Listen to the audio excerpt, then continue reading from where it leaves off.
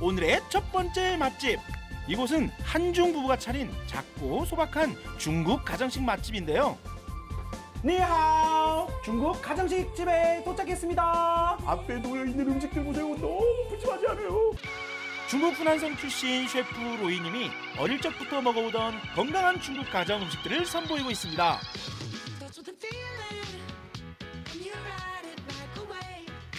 원래는 이렇게 하나씩 하나씩 나왔어요. 그래서 그렇겠죠. 순서대로 먹어야 되는데 이게 일단은 한 상을 한번 딱 받아봤습니다.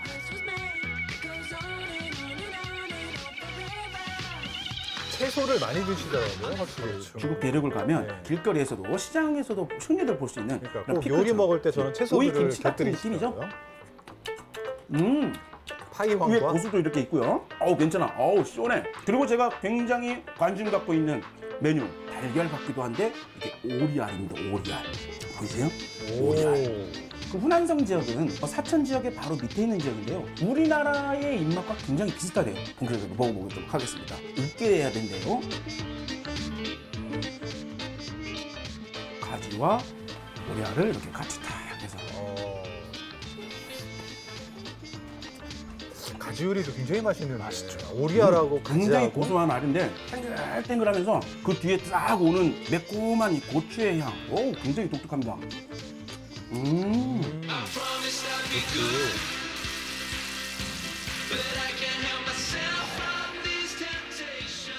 뜨거운 기름을 와서 싹 한번 부어주셨어요. 어, 얼마나 맛있던지.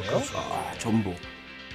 어, 밑에 보니까 뭐가 당면 같은 게 있는데 밑에 있는 건 당면이 아니고 녹두국수입니다. 어. 이렇게 국수랑 녹두국수랑 같이 이렇게. 아, 그럼 맛있겠다. 음, 손맛은 달짝지근하게 그냥 간이 짭짤하게 또 이렇게 싹 오는 게 근데 꼬들꼬들한 또 전복과 아 이게 또 녹두국수가 이게 또 굉장히 또 매력적이네. 샹라따샤 매운 새우로 매운 오. 얼마나 매울까요? 아우 너무 신선해. 아우 땡글거려. 음, 와우 땡, 땡, 와, 아, 아. 매콤한 음식 먹을 때는 말하지 마세요. 사레 걸렸다가 큰일 나. 아우 매콤해. 아 강렬하네요. 강렬한데 구수해. 음. 아, 가지볶음 어휴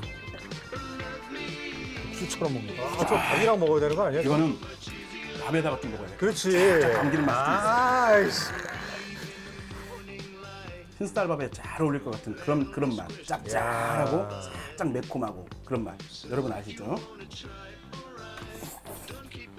저렇게 먹으면 밥이 달게 음. 느껴질 거예요 아마 음, 네. 딱이야. 와, 예.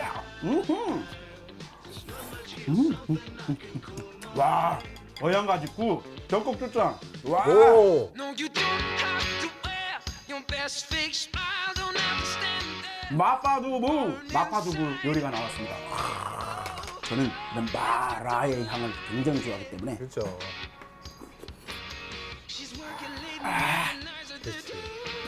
근데 저렇게 먹으면 매워 저것도 밥에 와. 비벼 먹어야 더 맛있지 와 여기 너무 마음에 든다. 너무 마음에 들어. 비벼 먹네요. 이게 또 비벼줘야 돼요. 마파두부는 이렇게 싹. 그래서. 그렇지 저렇게 먹어야지 cry. 이 성산읍 온평리에 테이블이 4개밖에 안 되는 이 자그마한 가게에서 와 이런 가성비에 이런 음식이 나온다 이런 숨은 식당이 있었다 너무 훌륭해 와 어, 계속 먹어야지 제주에서 즐기는 분한성 엄마의